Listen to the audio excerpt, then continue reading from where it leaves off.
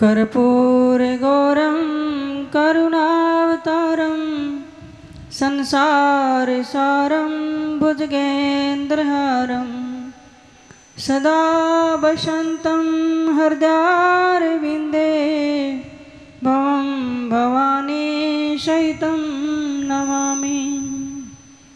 वासुदेवसुतं देवं कंसचानूरमर्दनं,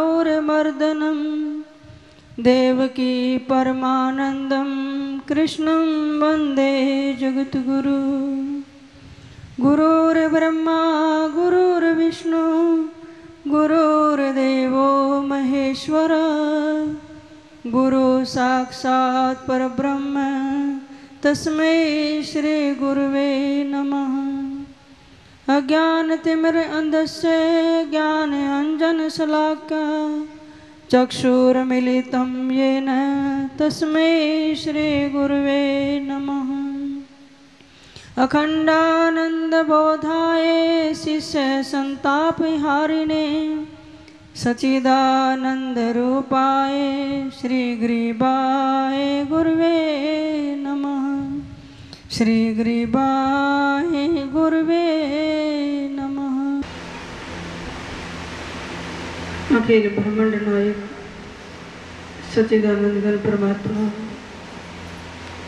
जगत गुरु आचार्य बाबा गिरिदास जी महाराज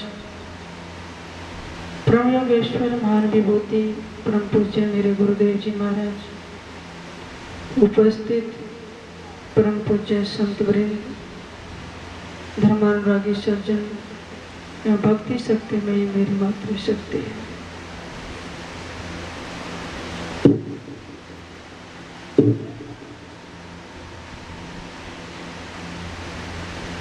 आज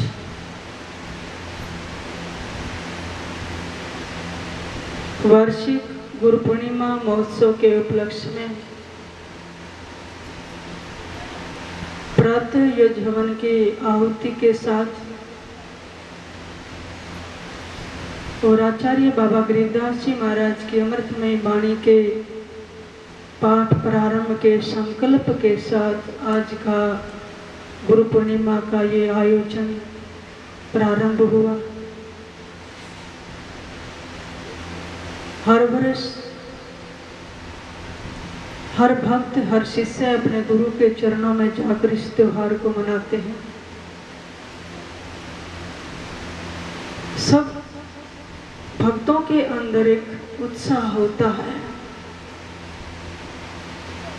संसार में हम कोई भी पर्व, कोई भी त्योहार मनाएँ,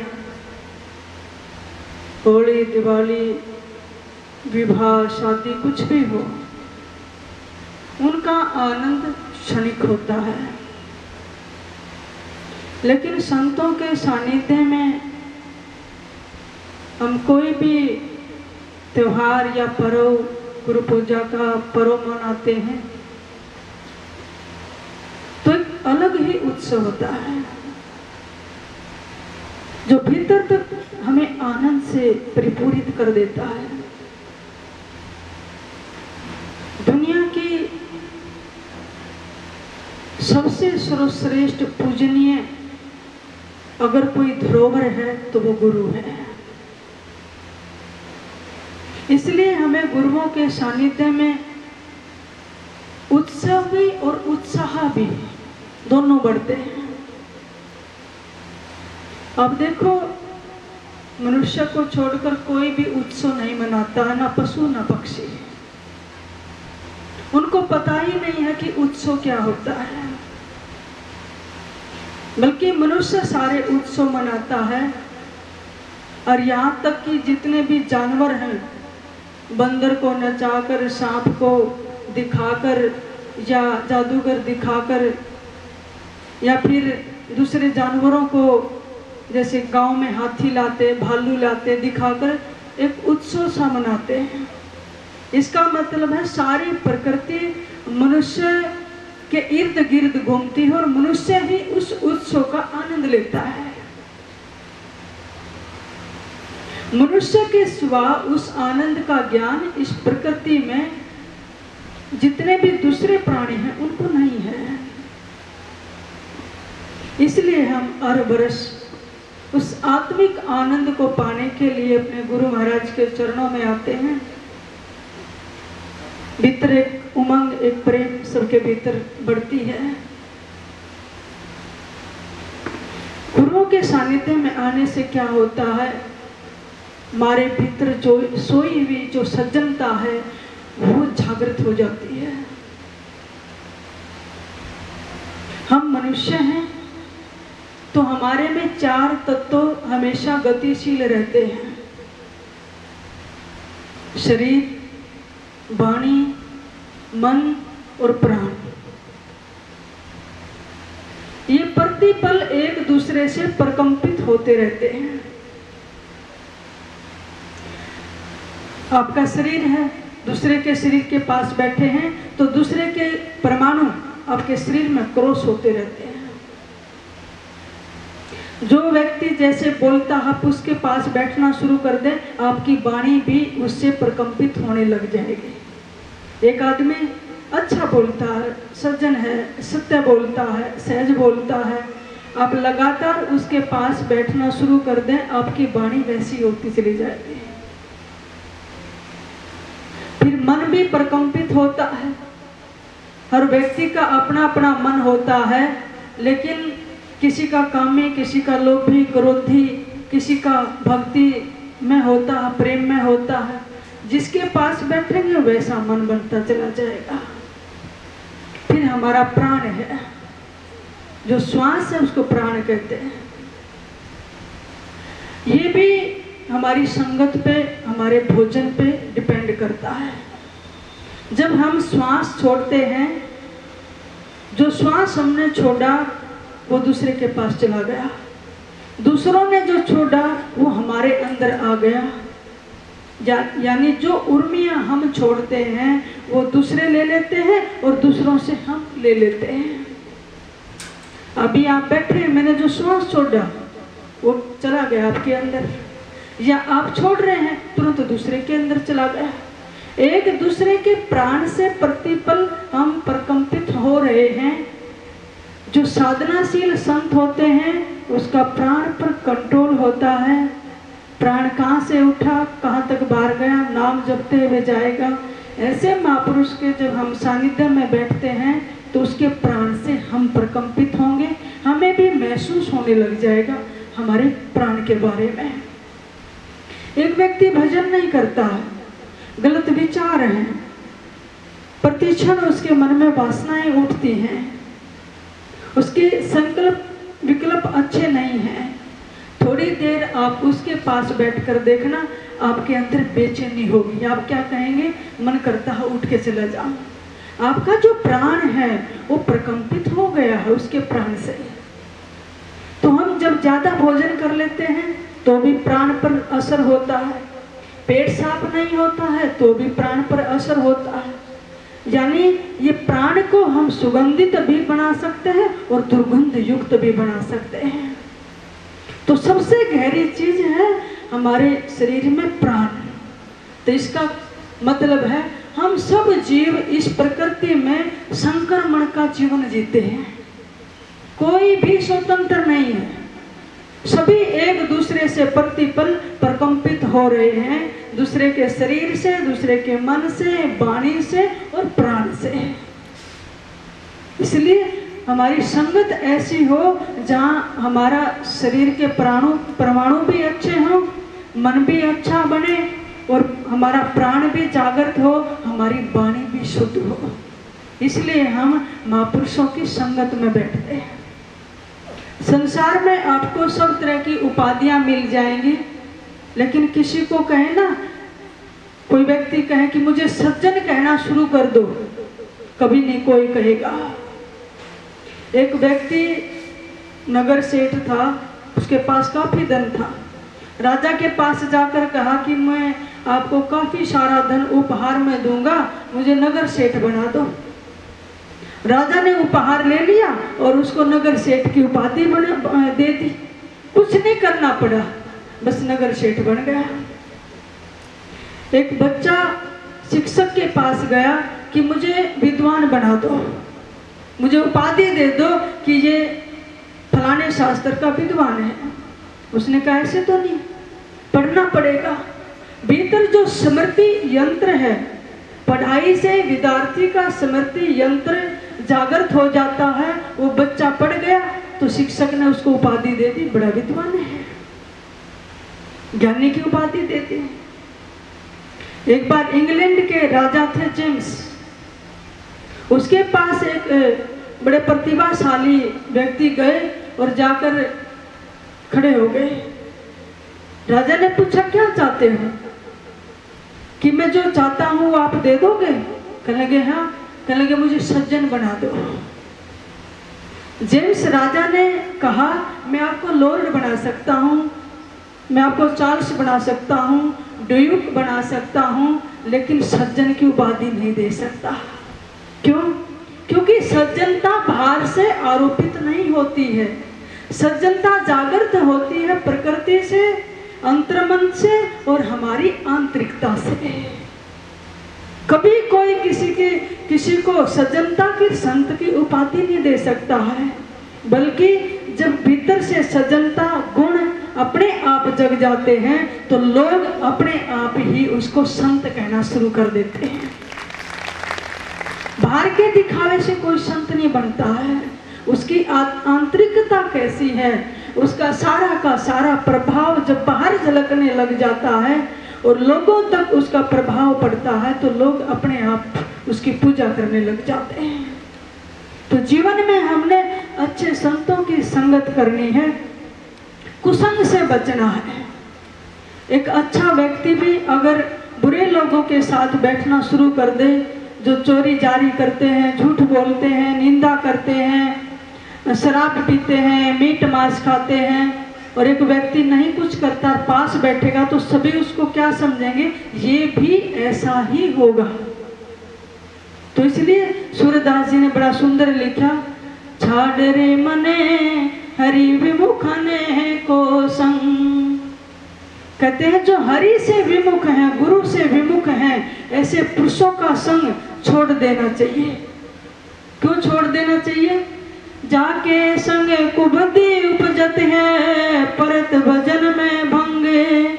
कहा होत पै पान कराए, विष्णु तजत भुअंगे कहने का मतलब है, जो बुरा व्यक्ति होता है, दुर्जन होता है, उस पर कितना ही आप प्रयास करो कि गंगा में नहाओ, अच्छी संगत में बैठो, लेकिन वो अपनी प्रकृति नहीं छोड़ता है। घर को कहा अर्गजा लेपन मरकट भूषण अंग। आप गधे पर चंदन का लेप करो तो कोई फ़ायदा नहीं है, क्योंकि गधा कुरड़ी पर जाकर फिर लोटपोट होगा। अपने शरीर पर कुरड़ी की जो गंदगी है, वो फिर लपेट लेगा। एक सच एक दुर्जन व्यक्ति सज्जनों के पास बैठ भी गए।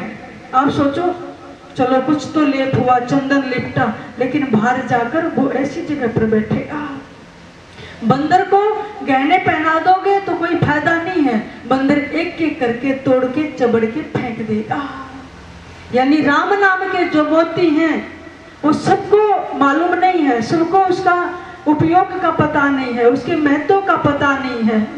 वो तो राम नाम को ऐसे ही छोड़ देता है, ऐसे ही फेंक देगा जैसे कि बंदर के गले में सोने के हार, मोतियों के हार पहना दिए फिर कहते हैं, गज को कहा नभावे श्रीता, बोर दरे खे अंग, पहन पतित बासने बेदत रितो करत निशान हाथी पर आप नहला दो, सूंड से फिर अपने ऊपर धूल डाल लेता है। कोई फ़ायदा नहीं।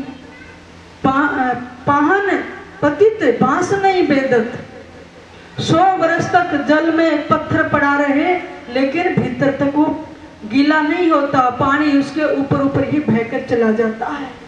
कहते ना कोट वर्ष संगत करे संतन की जल में पहन का क्या भीजे। चंदन बन में रंग लावत है एक बाँस भी विटम्बी ना सीजे करोड़ों वर्ष तक भी एक पत्थर जल में पड़ा रहे, ऊपर से पानी बहता रहेगा, लेकिन भीतर से गीला नहीं होता है। इसलिए हमने जीवन में पत्थर नहीं बनना है। महापुरुषों की अमृत में वाणी सुनते हैं तो भीतर तक पहुंचनी चाहिए, उसका असर होना चाहिए।